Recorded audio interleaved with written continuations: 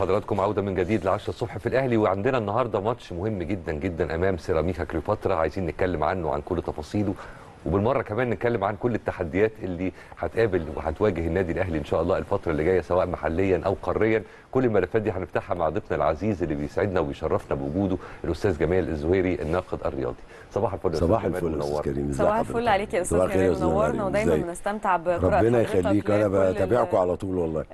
ربنا يوفقكم. دايما إن شاء الله خلينا قبل ما نتكلم عن مشوار الأهلي في الدوري تحديدا في الثلاث مباريات الماضية عندنا النهارده مباراة نقدر نقول إن هي مش سهلة ابدا يا أستاذ جمال. ما آه. بقاش عندنا مباراة سهلة ومباراة صعبة. آه، فريق سيراميكا فريق محترم عنده squad محترم جدا بيضم عدد كبير من العناصر المميزة.